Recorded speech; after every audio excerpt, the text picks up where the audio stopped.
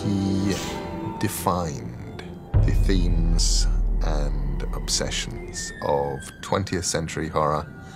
And as we chug on into the 21st century, it doesn't seem to be going away. He let drop away all the trappings of, nor- of what is called horror, and he moved into some narrative peculiar to himself. He invented his own genre, really.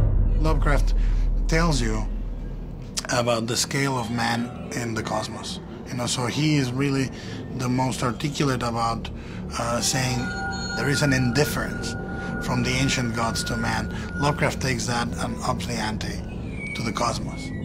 If you can think of a kind of supernatural horror fiction, it's almost certain that at some point in his career, Lovecraft applied himself to it. And, and, and when he got it right, as he often did, nobody could beat him.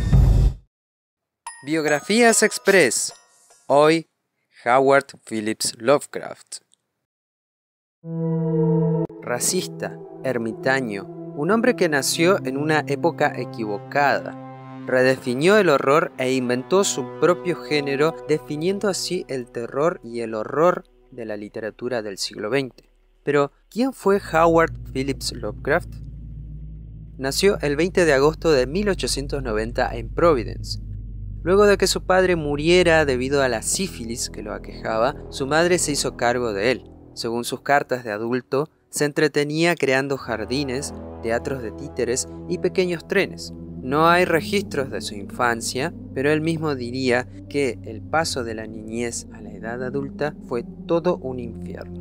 Su abuelo fue gran influyente, literatura y poesía clásica fueron sus más grandes pasiones. Pero con la muerte de este, la vida de Lovecraft se convirtió en un abismo muy difícil de describir. Al crecer, perdió interés por el mundo y se concentró en las estrellas, las profundidades y sobre todo las civilizaciones perdidas en el tiempo. Sus autores favoritos eran Edgar Allan Poe, Lord Dunsany, Ambrose Bierce, entre tantos otros. En 1908 publicó El alquimista y debido a constantes ataques de nervios tuvo que abandonar sus estudios, aumentando así su carácter introvertido y antisocial.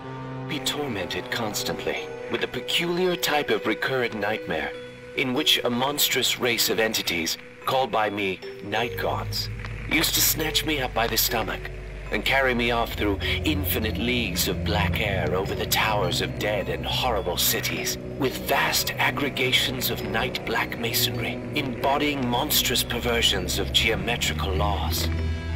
Cuando comenzó a publicar en Weird Tales, creó una gran amistad con jóvenes como Robert Bloch, Clark Ashton Smith, Frank Delknap, entre otros. Y a pesar de que lo admiraban, Howard no se presentaba como un maestro, sino como un amigo. Era cortés, atento, todo un caballero. En 1921 muere su madre en el mismo psiquiátrico que murió su padre. En 1922 conoció a Sonia Green, siete años mayor que él. Dos años más tarde se casan, pero él parece ser demasiado rígido y le escapa a los encuentros eróticos. Se siente viejo a los 30 y a pesar de que nunca vivió en la miseria, siempre tenía el dinero justo. Trabajaba corrigiendo como escritor fantasma o asesorando a sus amigos e incluso sin cobrarles. Lovecraft dijo de sus escritos, Nunca intento escribir una historia, sino que dejo que la historia vida ser escrita. Su obra se califica como desorden de los sentidos. Sus relatos son de progresión lenta, describen incidentes ambiguos en lugar de aterradores. Al lector se lo empuja a leer y se lo lleva a un final que puede no gustarle. Su estilo narrativo es arquitectónico, necesita mucho espacio para albergar todos los elementos de su maquinaria. A medida que su nombre se hace un lugar en las revistas pulp, su relación con Sonia se desgasta. Nueva York, repleta de inmigrantes, caos y bullicio, abofetea a Lovecraft. Claro, allí vivía la joven pareja. Howard decide volver a su natal Providence, asqueado de los sectores que él considera inferiores. Es verdad que sus historias contienen elementos racistas, pero muchas veces suelen ser sutiles, casi imperceptibles a primera vista. La presencia de seres monstruosos provenientes del mar de dimensiones desconocidas y tremebundas hacen ver a sus personajes como marionetas destrozadas por el enorme caos. La llamada de Cthulhu, por ejemplo, es una mezcla de cosmología, antropología y horror. El color que cayó del cielo, un evento que mutila y deforma todo a su paso, incluyendo animales, plantas y seres humanos. Y así tantos títulos como Dagon, Herbert West Reanimador, El horror de Doom Beach, En las montañas de la locura, entre otros. Lovecraft no solo cultivó el horror, hay mucho de ciencia ficción en sus relatos, no por nada envió cuentos a Amazing Stories, la revista que había creado Hugo Gernsback. Lovecraft sufría de diferentes enfermedades menores, incluyendo trastornos intestinales. Cuando consultó a un médico, el cáncer ya había tomado su intestino delgado. H.P. Lovecraft murió la mañana del 15 de marzo de 1937.